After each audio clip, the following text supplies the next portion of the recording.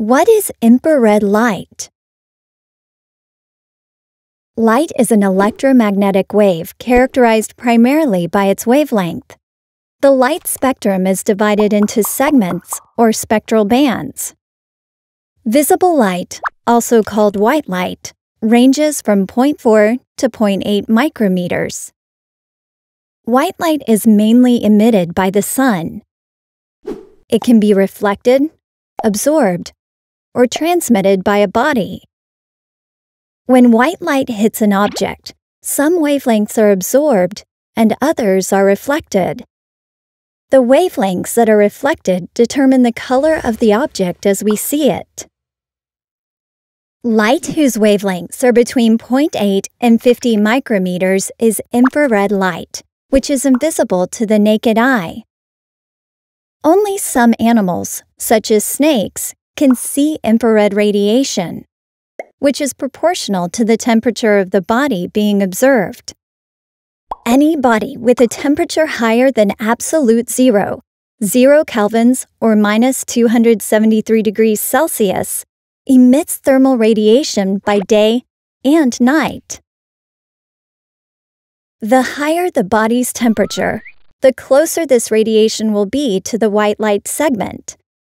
For example, when a blacksmith heats a piece of iron until it's white hot, we see it as white because it is emitting radiation at all wavelengths in the visible spectrum.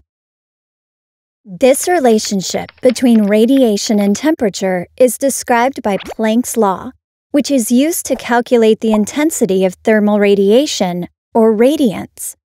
This law applies to black bodies, theoretical bodies that absorb all wavelengths and emit a flux depending on their temperature for a given spectral band.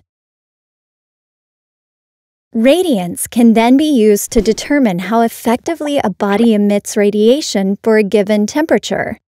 This is called emissivity. Ranging from 0 to 1, emissivity compares the radiance of the body with the radiance of a black body. The closer the emissivity of the body is to 1, the closer its radiance is to that of a black body.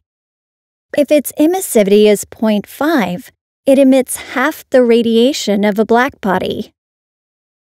A body's emissivity depends on its physical properties. For example, skin has an emissivity of 0.98, whereas polished metal bodies, like aluminum, have emissivity values that may be less than 0.1. These are infrared mirrors. If the emissivity value of a body is known, the emissivity can be used to calibrate infrared devices. The body's thermal radiation can then be captured to determine the body's temperature. Known for enabling us to see by night, infrared light is now used in many fields such as industry, defense, and remote fever detection.